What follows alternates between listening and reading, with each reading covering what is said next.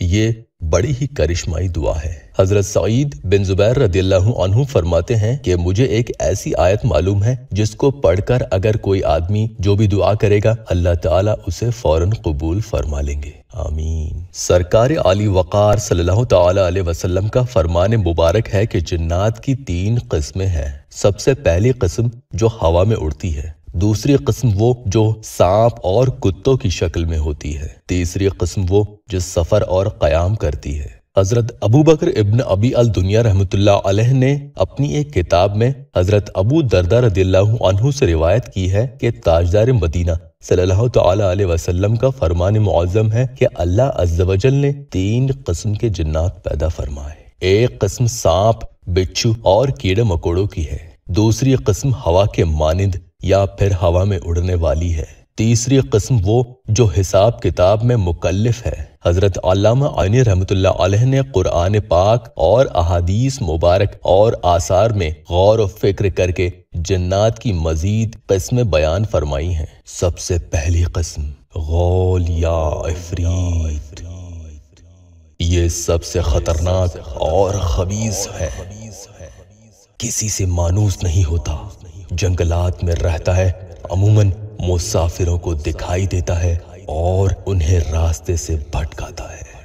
یہ مصر اور یمن میں پایا جاتا ہے۔ اسے دیکھتے ہی انسان بے ہوش ہو جاتا ہے۔ تیسری طرح کا جن ولہان، جو سمندر کے اوپر جزیروں میں رہتا ہے۔ اس کی شکل ایسی ہے جیسے انسان شتر مرغ پر سوار ہو۔ جو انسان جزیروں میں جا پڑتے ہیں، انہیں کھا لیتا ہے۔ چوتھا شق یہ انسان کے آدھے قد کے برابر ہوتا ہے۔ سفر میں ظاہر ہوتا ہے۔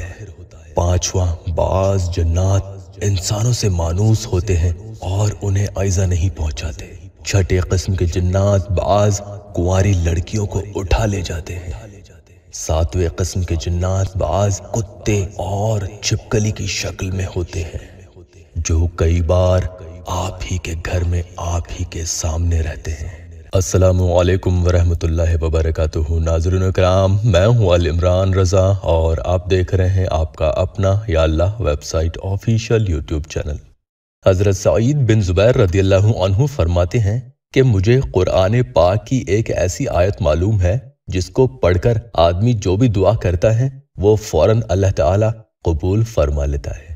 ناظرین اکرام، ہر نماز کے بعد یا پھر جب بھی آپ دعا مانگے تو کم سے کم اس آیت مبارکہ کو ایک مرتبہ آپ ضرور پڑھیں اور اس کے بعد اللہ تعالیٰ کے سامنے اپنی حاجت رکھیں۔ یقیناً انشاءاللہ تعالی حضور اکرم صلی اللہ تعالیٰ علیہ وسلم کے صدقے اور طفیل میں آپ کی دعا قبول ہو جائے گی۔